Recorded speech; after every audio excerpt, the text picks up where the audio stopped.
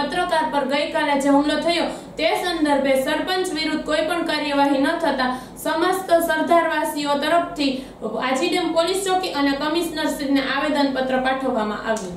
સરદાર ગામ ડિમોલેશન બાદના માર મારવાના પ્રકરણમાં દિલીપભાઈ ગોહિલે ગામના સરપંચ પિન્ટુભાઈ ઢાકેચા વિરુદ્ધ ખૂનની ધમકી સાથે માર મારવાની ફરિયાદ નોંધાવાના ચોવીસ કલાક બાદ પણ સરપંચ વિરુદ્ધ કોઈ પગલાં ન લેવાતા અને ખુલ્લેઆમ ગામમાં ફરતા હોય ગ્રામજનો દ્વારા આજીડેમ પોલીસ ચોકી તથા રાજકોટ કમિશનર કચેરીએ એક આવેદનપત્ર પાઠવી સરપંચ પર તાત્કાલિક કાયદેસરની કાર્યવાહી કરવા અરજ કરી છે. આજીડેમ પોલીસ ચોકી આવેદન આપવા આવ્યા છો. આખી વિગત શું છે? અમને આવેદનપત્ર પીઆઈ સાહેબને દેવામાં એટલા માટે આવ્યા છે કે જે કાલનો બનાવ અમારા દિલીપભાઈ કેશુભાઈ એક સામાજિક કાર્યકર હોય એની ઉપર ગામના સરપંચે હુમલો કરેલ અને જાનથી મારી નાખવાની ધમકી આપેલ અને તેઓ જે પ્રેસ રિપોર્ટર હોય પ્રેસ રિપોર્ટર છે. એની ઉપર હુમલો થયો. એ ગંભીર બાબત છે. તો એના માટે તે ગ્રામજનોએ નિર્ણય લીધો નિર્ણય લીધો કે આપણે પીઆઈ સાહેબને મુલાકાત લઈ આવેદનપત્ર આપી આની તાત્કાલિક અસરથી ધરપકડ કરે.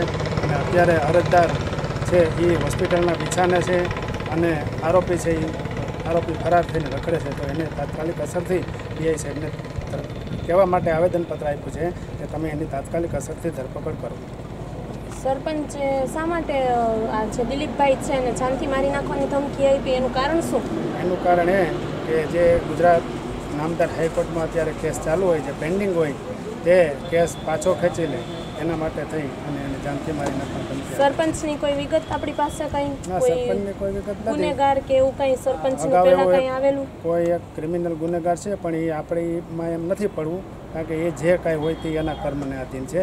પણ અત્યારે જે અમારે જે સામાજિક કાર્યકર દિલીપભાઈ ગોયલ છે તે હોસ્પિટલના બિછાને હે તે ફાઇનલ દિલીપભાઈ ગોહિલે અહીંયા પોલીસ ચોકીમાં ફરિયાદ કરેલ છે? હા અહીંયા રૂબરૂ જ હોસ્પિટલના બિછાને છે ત્યાં પણ પોલીસ આવેલ અને એની ફરિયાદ લઈ ગઈ છે.